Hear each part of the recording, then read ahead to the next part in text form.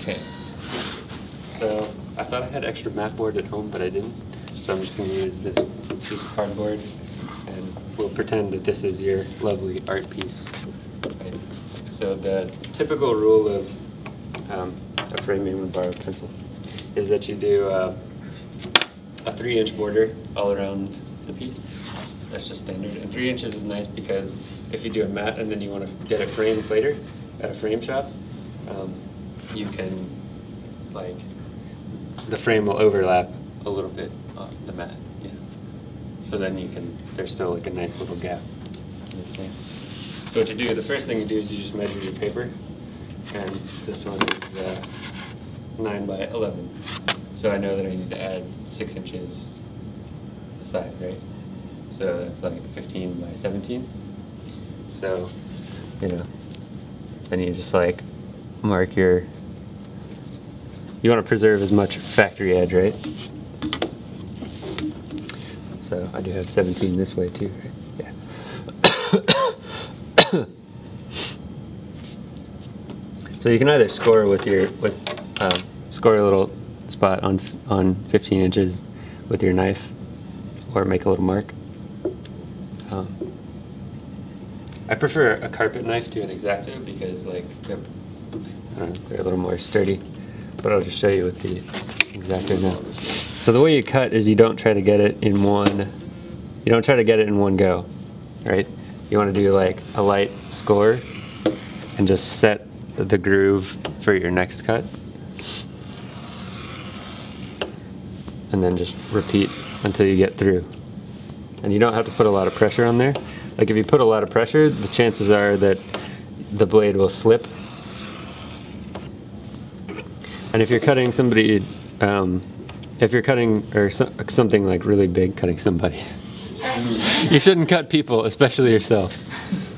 Uh, okay, if you're cutting something really big, what you do is you start with your with your fingers like right next to the cutting surface, then you inchworm down and continue. Right? Being very careful not to slip and cut your own hand, right? But if it's something small like this, you can just kind of put enough, put a lot of pressure on the, on that. And then when you get through, right, you can, with cart with board, you can do this, you can pop it, and then cut from the back. And if your intention is to like, is to frame, that's fine too. Does anybody have a decent X-Acto blade with them? This thing's old, old, old. I have the box cutter. Yeah, that'll work. I prefer box cutters. They said you don't prefer box cutters. no, I prefer box cutters to X-Acto blades.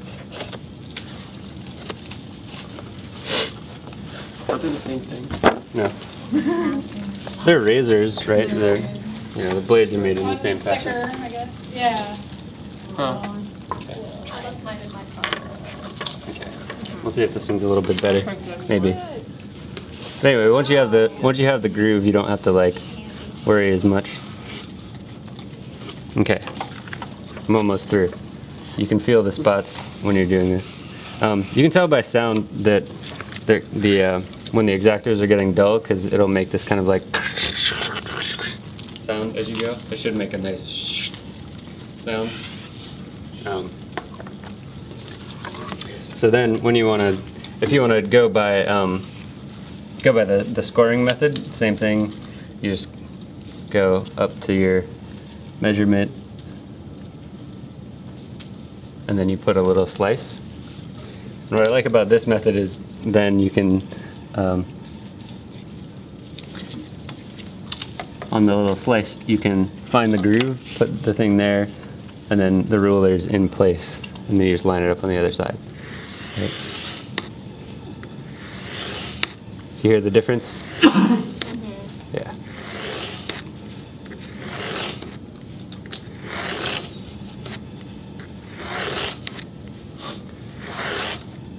Okay.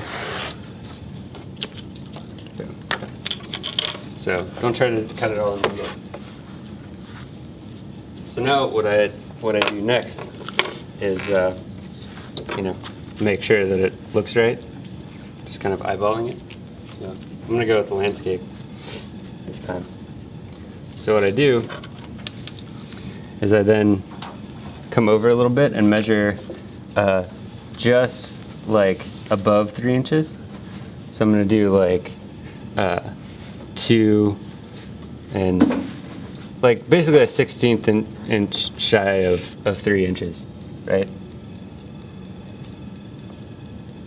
Because when something's a little above center, it appears to be visually centered when it's hanging. Like if you put it dead center, it will actually appear to be low on the mat board, which is really strange.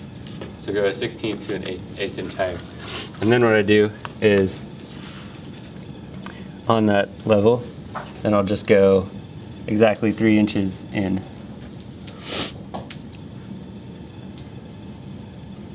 Okay, so now what I've done is I've drawn a little, a little thing where when I'm laying my drawing down, I can line up on those, right, for my final placement. See it? Okay. So that'll be, that'll, that's how the final placement will work. And there's several ways to actually do this. I brought this kind of funky tape. This is the first one I, grabbed. So this method, I'll show you two at the same time. Right here, this is this is uh, the T method. So you take two pieces of tape, you oppose them, and make a T. So you put the sticky sides together like that. Then what you do is you take the horizontal one, and you put that somewhere inside near the top corner, like that. Simple, huh? So this way you don't have to roll it. And uh, if you want to, if you want this to last, you can use archival tape. Now, the other thing you can do is, uh, I'll show you this.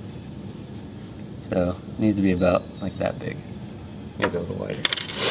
Is so at the at about the same spot, you make a little slit through the um, mat board. And this accomplishes a very, a very much similar thing.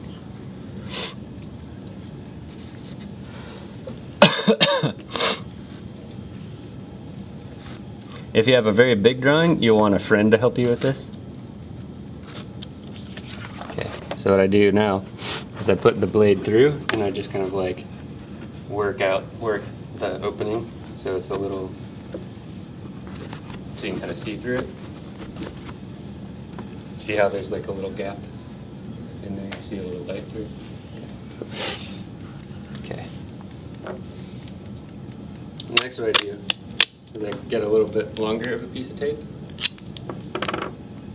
and take the tape and uh, very carefully slide it through. Sometimes you have to get the back a little not too sticky. It can be a pain. Sometimes you'd have to bend the board. Yeah, there it goes.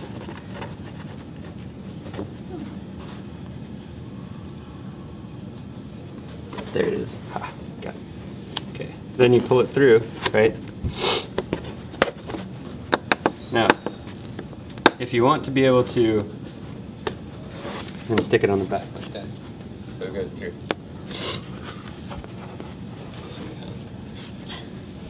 Okay.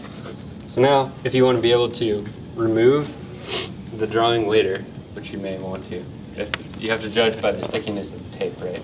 So if it's not too sticky, you don't worry about it. But if it is pretty sticky, what you do is you um, stick it on your clothes and pick up a little bit of lint until you hear it kind of get weaker, right? It's still going to be strong enough to hold your paper, but what you want is is weak enough so that you can pull your paper back up without um, ripping it. Yeah.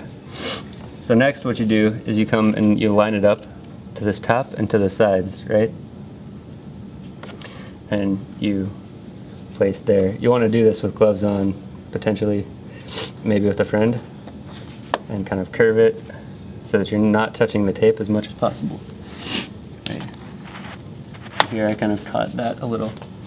So if you have problems where this happens, you can essentially do a little mini version of, of this and just do that. Keep it down. Tape, tape likes to kind of curl and bend, right? So then you just start here and you roll it down and then you just press gently.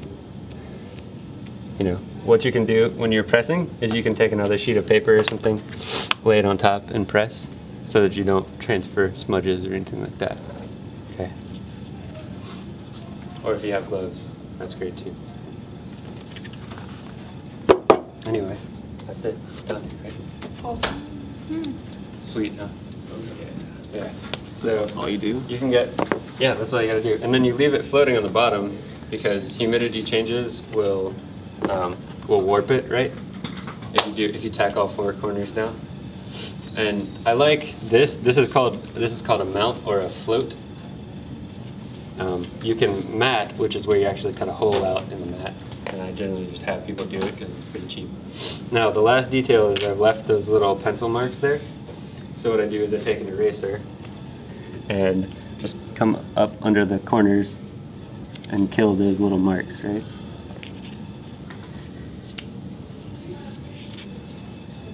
And this way, you know, if the paper is like rough or, you know, has like a jagged edge, you can kind of show that jagged edge.